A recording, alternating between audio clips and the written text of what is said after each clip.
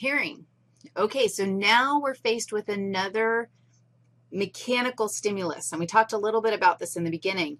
Sound waves are mechanical uh, disruptions of air molecules.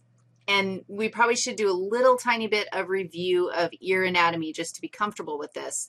So essentially the pinna is the outer part of your ear that you can see, and you have the external auditory canal that basically the pinna uh, takes the sound waves and channels them into the external auditory canal. But all that's being channeled in here literally are waves, and you can feel it. If you turn up the volume on your computer right now and I start yelling at you, like you can feel the vibrations of the sound. And when it gets too crazy, you're like, dude, just stop. But keep going because this is physio and we have work to do. When those sound waves hit the tympanic membrane, which is your eardrum, that's this thing right here, tympanic membrane, it causes the tympanic membrane to wiggle. And then you have a series of three little inner ear bones, middle ear bones. I do it every time. This is your outer ear. This is your middle ear.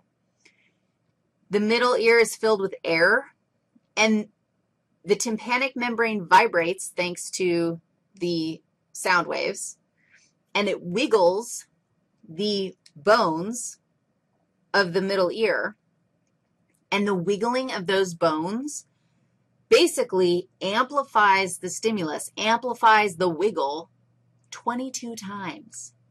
So if you didn't have those bones in there and you just relied on your sound waves to wiggle your cochlea, and this is your ultimate receptor organ, this is the cochlea, you would hear, you would have to talk 22 times louder to be heard at the same level, which you know, go ahead and give me a challenge. I'm happy to try to talk 22 times louder. Might be entertaining. The cochlea is found in the inner ear, and it's filled with fluid. So when the inner middle ear bones wiggle because of the sound waves, they are contacting another, um, like a tympanic membrane, but it's called the oval window. And that's, it's just another membrane. So basically, whoa, that says oval window. The tympanic membrane and the oval window both wiggle. The oval window is going to wiggle 22 times bigger than the tympanic membrane wiggled from the original sound waves. And the oval window wiggling makes waves in the fluid. Okay, so now you've got waves inside this snail-shaped structure. And, of course, the waves, like, I hope by this point you're thinking, what do those waves do? How is, how is a wave translated into an action potential? Well, since you asked, I guess only just because you asked, let's go look. Dude, where'd it go? This way. But of course. This is my sensory receptor cell. This is called a hair cell. And hair cells are embedded in the wall of the cochlea. So this is the fluid inside the cochlea, and you can imagine that this is cochlea wall, like the snail shell of the cochlea. And these hair cells, now look at this. This is a hair cell right there. This is a neuron. And my hair cell is essentially going to, I love this. This is fantastic. And you have to take a deep breath because it's a little bit weird. When the wave comes, here comes the wave. And waves like move things.